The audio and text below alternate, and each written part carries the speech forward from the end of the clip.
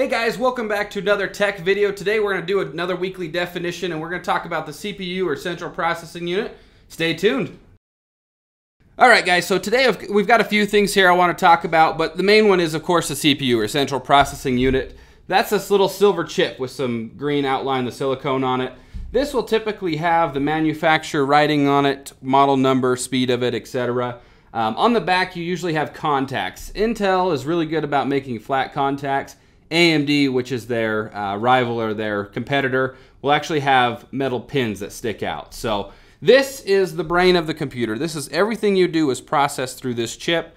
So the older this chip gets, the slower it will become and just has a hard time processing things. So um, now, of course, as you're doing processing, this thing will get hot. So that's where this comes into play. This is the cooler. As you can see, it's got metal fins on it with a fan usually located on the top.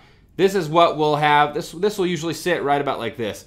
And what happens is the heat generated from the CPU will be absorbed by the heat sink. And then this fan, of course, will blow cool air across it, help keeping it cool. So um, usually what happens is dust will build up on this heat sink, causing a reduction of airflow. And that could be a reason why the computer is slowing down because a lot of times a CPU will actually throttle itself or slow itself down to uh, consume less power and save itself from, from overheating. So. And then of course you have this, this is the case, black box.